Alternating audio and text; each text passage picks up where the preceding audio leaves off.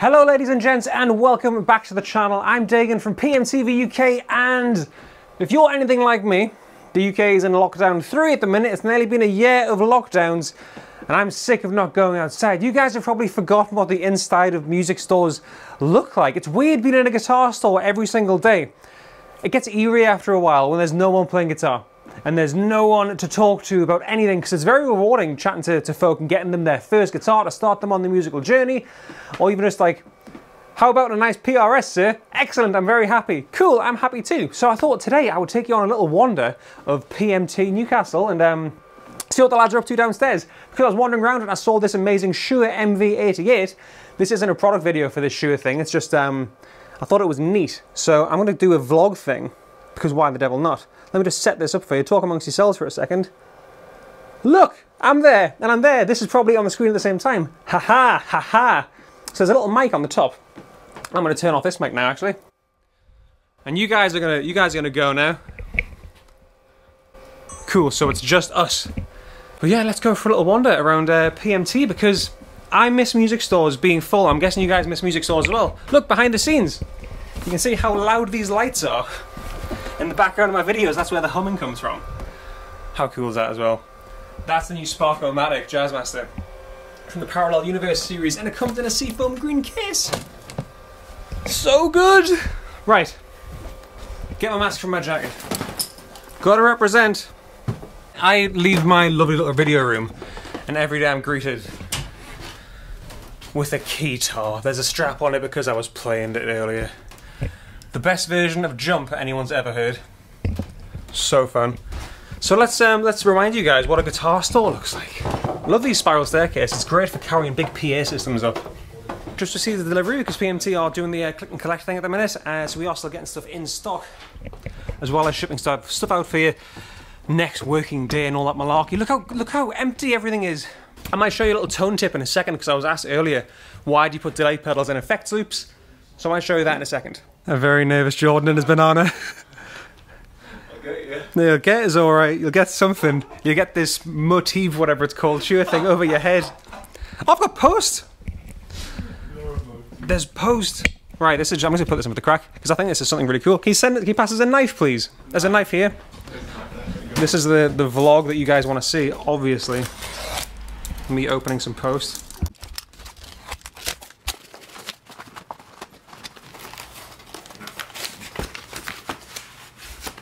Oh yes.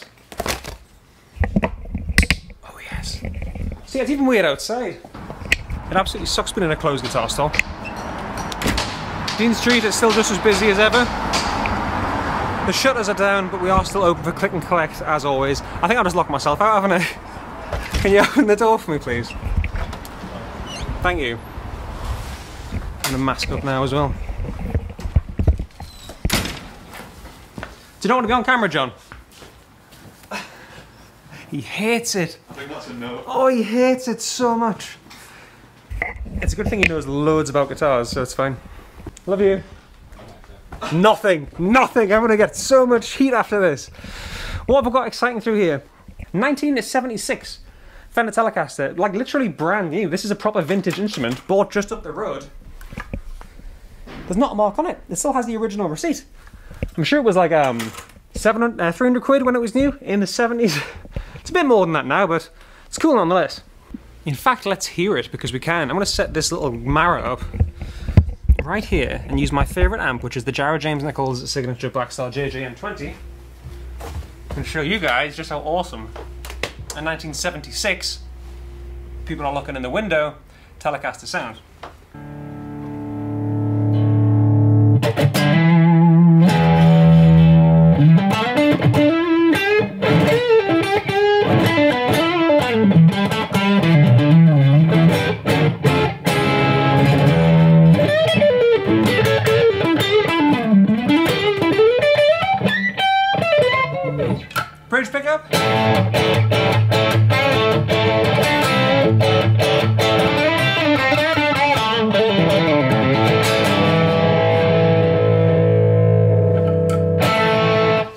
Cool thing. Now, there's definitely worse jobs to have. I used to be a fishmonger, so I definitely know that. What else is... Ooh, I've just spied something else very pretty. Check this out. Streamliner Gretsch G24 2420. That's a deep ass candy apple red. Look at that. These aren't a lot of money either. They're like um, Gretsch's budget guitars, but they don't look, play, or sound budget.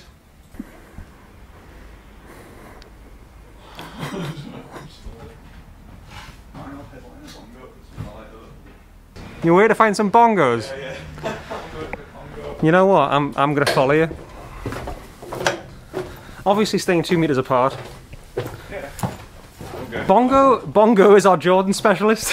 Jordan is our bongo specialist. This is the box that lovely um, Jazzmaster Firebird thing came in. It's wonderful. You have the bongos which your heart desires most. Excellent. In the window. Yeah. Have fun with that. The bongo window. Yeah.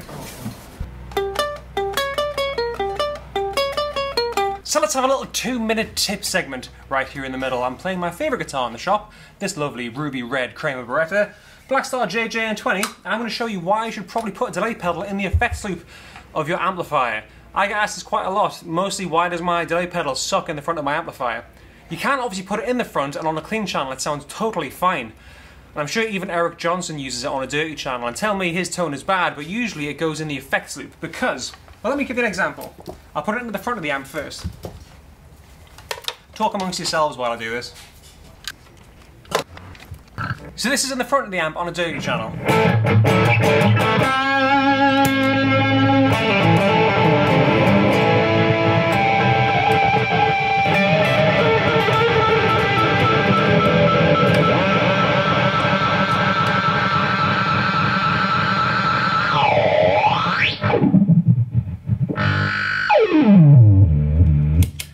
Sounds a lot of fun, but it's awfully ridiculous. It's not what you'd usually associate with an um, analog delay tone. So, that's because it's hitting the preamp section of the amplifier. I will quickly explain. The, uh, this is the science part. In an amplifier, there's the input, the preamp, the power amp. The preamp gives you the tone, and the power amp gives you the volume. Um, and you don't want to put an affected signal, signal into where your tone is created, really, because it'll mess it up and it'll, um, it'll make that happen, essentially. The effects loop goes after the preamp, uh, but before the power amp, so it's perfectly in the middle. You're affecting, uh, with the delay, an already created tone with the preamp, that kind of makes sense, and the power amp is then just amplifying it. It's the same if you run into a clean channel, a clean amplifier, have your delay pedal after overdrives as if the overdrive was a preamp instead of before, because then it can get quite wacky. Let's put it in the effects loop. So we're in the effects loop now.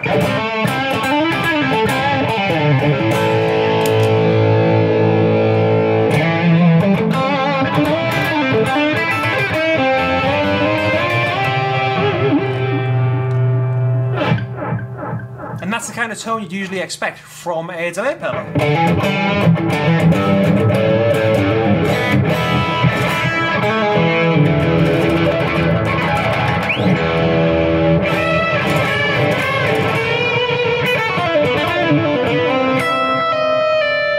Don't know what happened there, but yeah, you get the gist. And I think that's it. We can't wait for you guys to come back and for us to get regular shipments from the rest of the world. Now the borders, if the borders ever reopen again and it stops being like a movie from the 80s. It, it's weird no one being here. It's weird not having um, people to chat to every day about guitars and about music. It's quite eerie no matter how fun it is to watch Jordan eat a banana.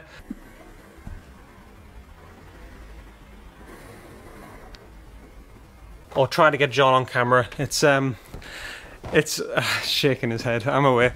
Right, time for me to go back into my little cave and then get loads of grief for doing this off everyone I work with.